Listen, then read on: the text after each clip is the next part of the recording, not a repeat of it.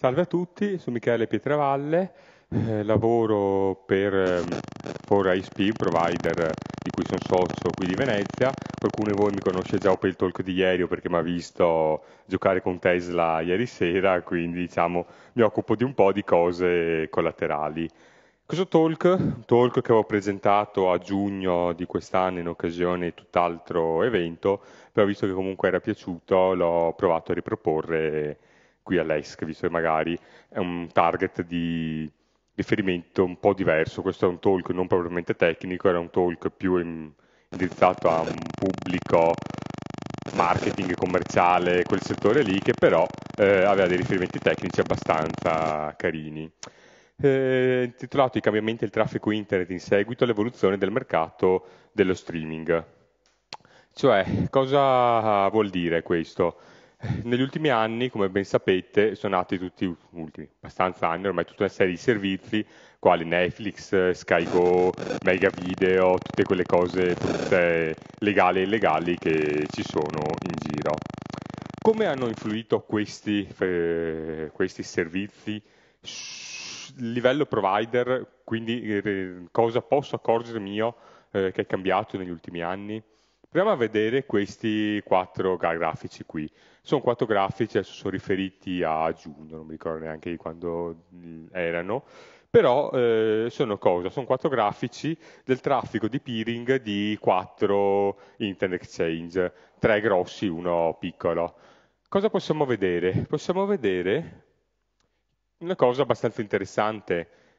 Eh, la freccia indica su tutti i grafici all'incirca le ore 20 eh, eh, dello stesso giorno. Cosa succede verso le ore 20?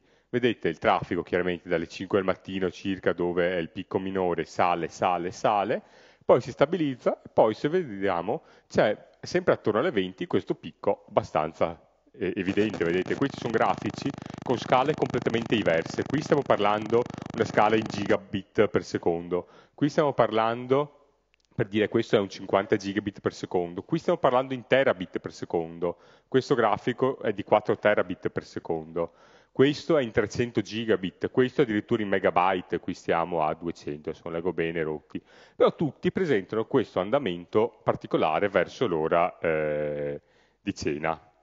Cosa, Cosa vuol dire questo? Semplicemente vuol dire che la gente arriva a casa da lavoro, si mette a mangiare e comincia a guardare qualcosa in streaming dopo cena, durante la cena. È una cosa abbastanza interessante, vedete i grafici sono, non dico sovrapponibili, però presentano tutti la stessa curva caratteristica. Guardandolo sul, eh, su ambito non più giornaliero, questo è un ambito giornaliero, questo è un ambito settimanale, vediamo che eh, l'andamento bene o male c'è tutti i giorni. La freccia in realtà ha indicato una cosa abbastanza più evidente, vedete, sono tutti più o meno allineati, qui c'è un picco corrispondente sempre all'incirca a quell'orario, molto, molto importante, ricordo che la scala in gigabit vuol dire c'è stato un incremento di circa 50 scusate, 50 gigabit per secondo in questo momento, questo particolare fascia oraria, e del giorno 14 giugno, quel che era. Cosa è successo secondo voi in quel eh, momento? Semplicemente è successa la partita Belgio-Italia. Cosa vuol dire questo? Vuol dire che quando una volta la gente guardava la televisione, la guardava così, ascoltava la radio così.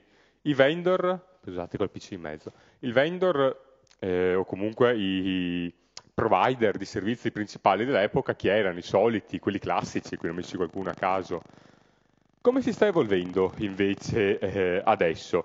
Si sta passando da questi device qui a questi device qui per vedere eh, il mio audio, il mio video in streaming.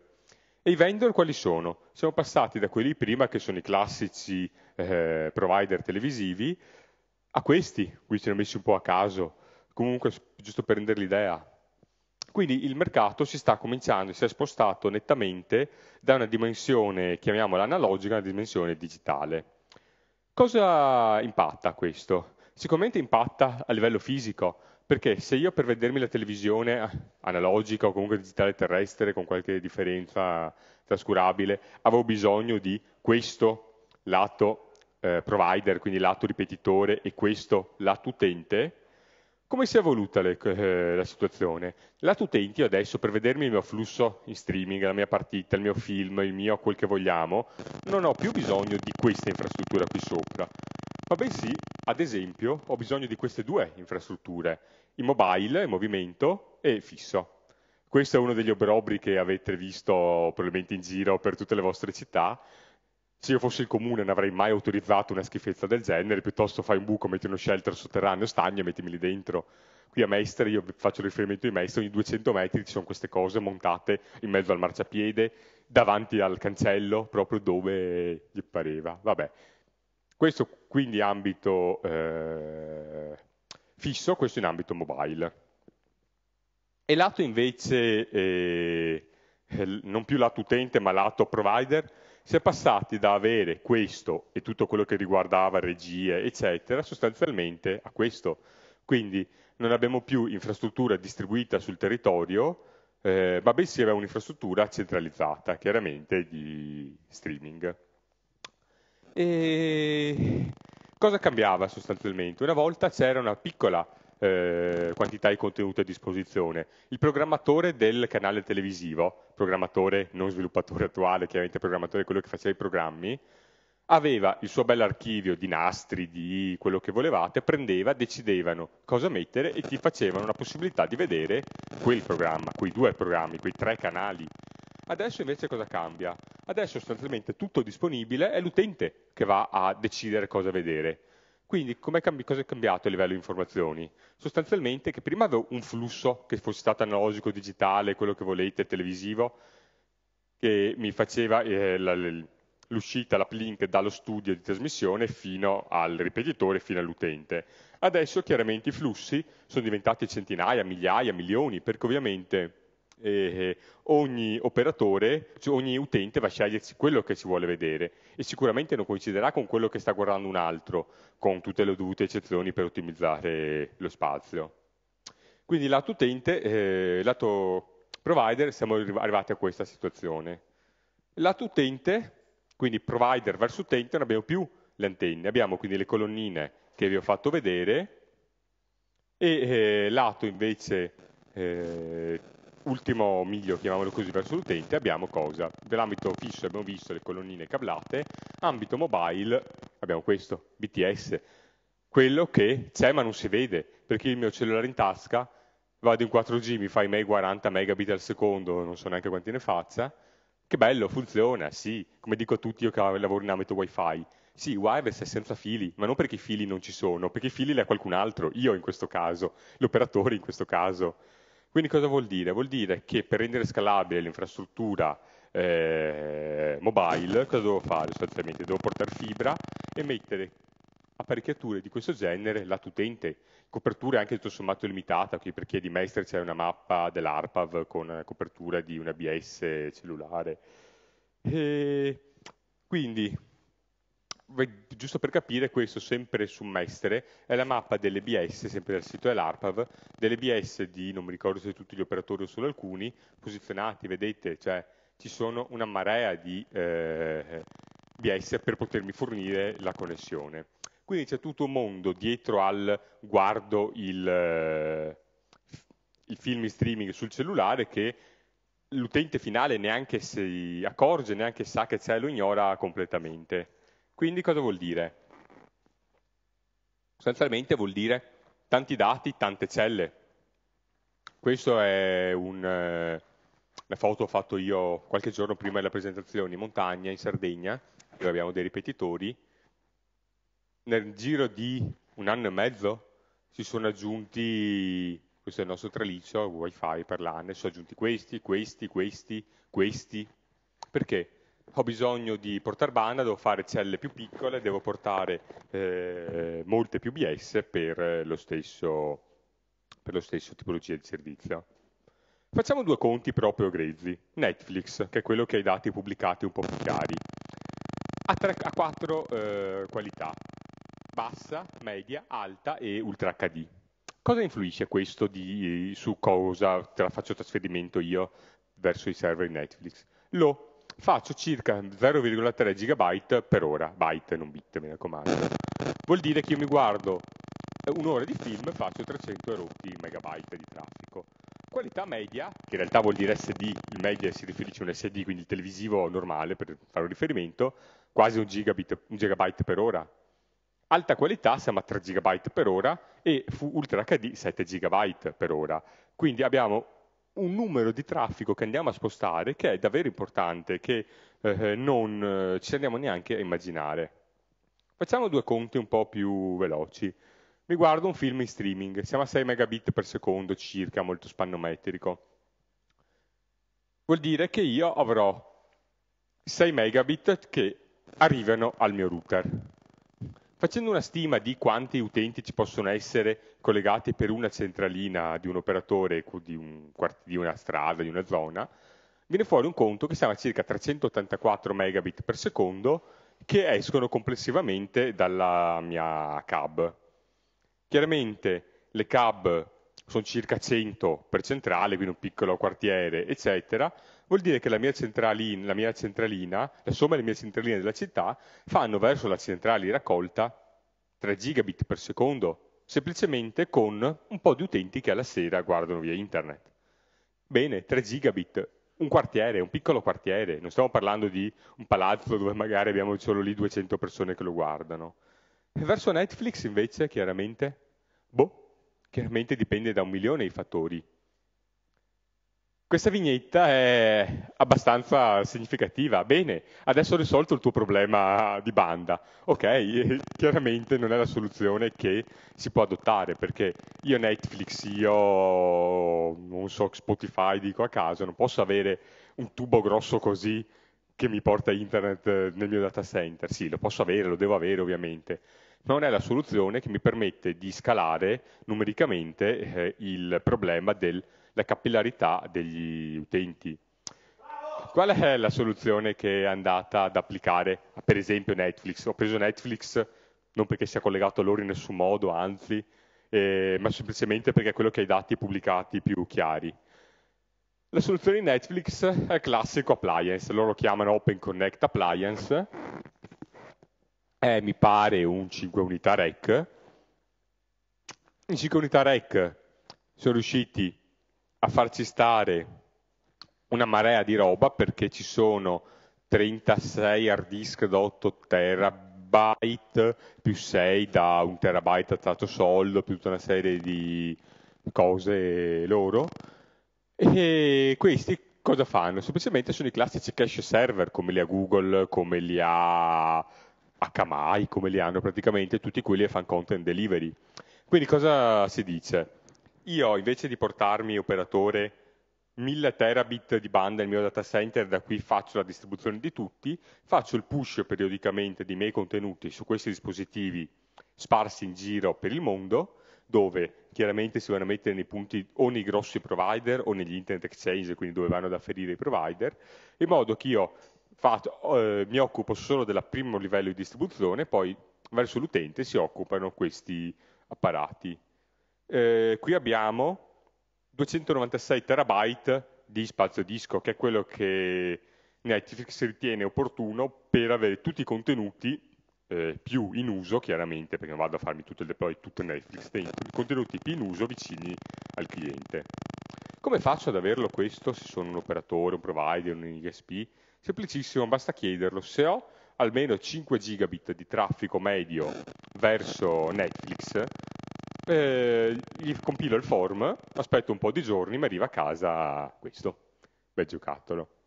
Chiaramente dopo avergli firmato mille carte che non vado ad aprirglielo, smontarglielo, distribuirgli i contenuti, cose che chiaramente sono deplorevoli e noi non faremo mai. Purtroppo non ne avevo uno, altrimenti l'avrei portato qua. sì, te lo, por- te lo, cambiano in blocco, eh, lo so infatti, lo so benissimo. E... Bene, quindi questa è la soluzione? Sì. Come c'è questo? C'è la soluzione, questi erano i primi che ti dava Google eh, nei tempi andati, adesso non so neanche se Google ti dia più sta roba eh, o cosa. Akamai fa la stessa cosa, anche questo sono foto d'archivio antiche, hanno ancora il floppy questi, giusto per capirci. E... Bene, detto questo, io risolvo il problema operatori, io sono il mio operatore legale, dove per legale intendo utilizzato, eh, autorizzato, SkyGo, pago i diritti, tutte le solite cose che chiaramente mm, noi siamo perfettamente d'accordo che bisogna fare, e tutti gli altri, cosa succede?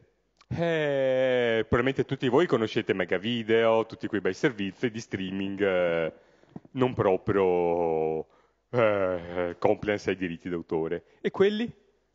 E questo? I PTV. Prova ora. Hai ben 4.000 film, serie TV on demand, tutto in streaming. Hai Sky, hai tutti i canali possibili del mondo. Non so se vuole, hai Premium, hai anche il test gratuito se lo vuoi provare. Non so se li conoscete, li pagate tipo 15 dollari al mese, 30 dollari al mese a seconda del servizio che volete e vi danno praticamente tutti i canali premium, premium intesi non premium come operatore, ma tutti quelli, in streaming, IPTV.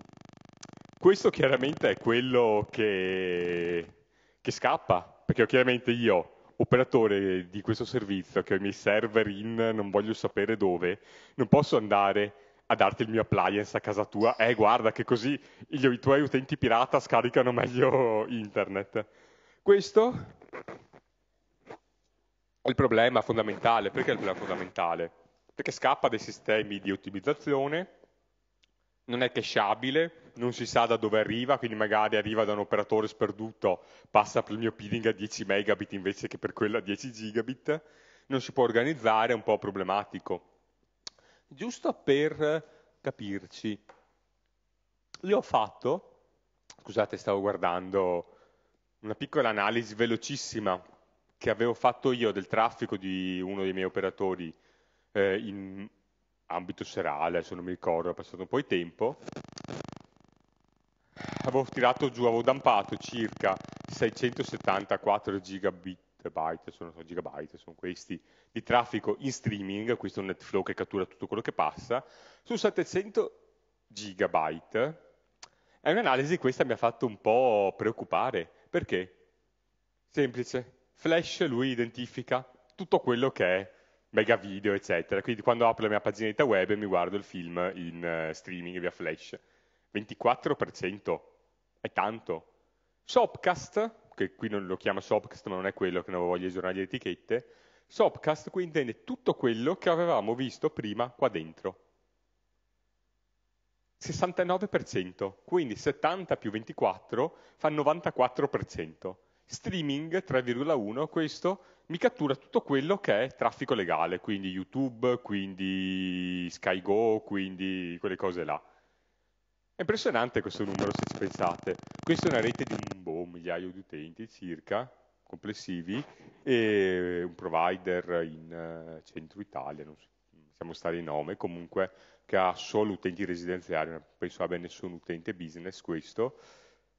È interessante questo numero, perché vuol dire che la situazione ci sta un po' sfuggendo di mano da quel punto di vista. Dimmi. Giugno, questo, quindi giugno di quest'anno, quindi decisamente dopo l'arrivo di, di Netflix. Non so se qui ho beccato magari l'unico momento in cui tutti stavano guardandosi l'ultimo film appena uscito su Mega Video, potrebbe anche essere come dicevo, una cattura fatta al volo, giusto per fare la slide, magari se faccio una cattura su un ambito un po' più ampio di una settimana vengono fuori numeri decisamente diversi, eh, questo non, non, lo so, è un numero che l'ho visto per caso, mi è saltato all'occhio, ho messo una slide. Bene, e che impatto ha tutto ciò per il futuro soprattutto?